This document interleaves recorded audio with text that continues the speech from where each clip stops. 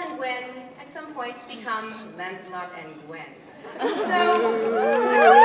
flirting ramp up? Uh, yeah, that, it's, it's a safe bet to say that.